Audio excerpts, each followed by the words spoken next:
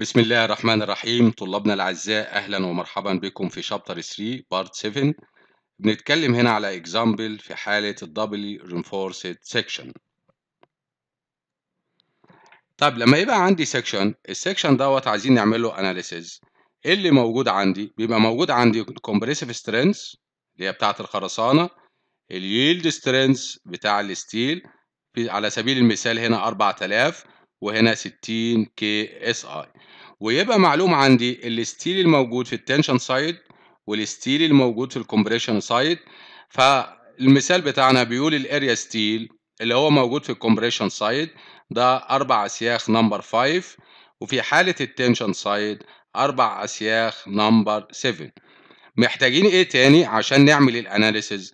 محتاجين نعرف ال b اللي هي العرض بتاع القطاع بيساوي هنا في المثال بتاعنا 12 inch ال d اللي هي 18 inch.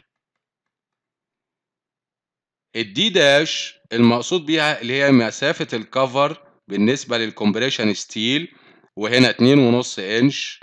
ال d اللي هي 15.5 انش.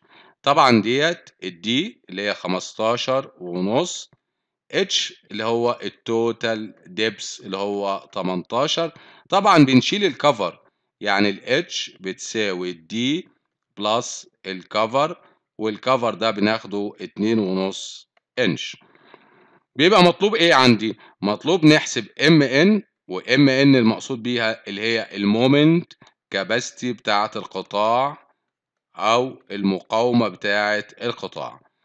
وال maximum area steel اللي هي ال area steel maximum for the section طيب تعالى نشوف توزيع ال stresses وال strains اللي إحنا هنشتغل عليها عشان نعمل عملية ال analysis ده واضح إن هو توزيع ال strain آدي ال strain أهو بتاع ال steel هو epsilon y ده ال strain اللي موجود في ال compression steel اللي هو epsilon s dash وده ال strain اللي موجود في الخرسانة اللي هو ال ultimate اللي هو التلاتة من ألف.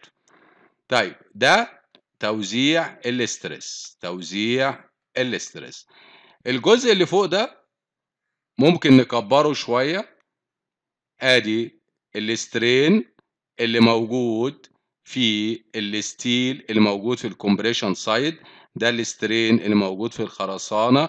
دي المسافة بتاعة ال neutral axis اللي إحنا بنسميها السي اللي إحنا بنحسبها إزاي؟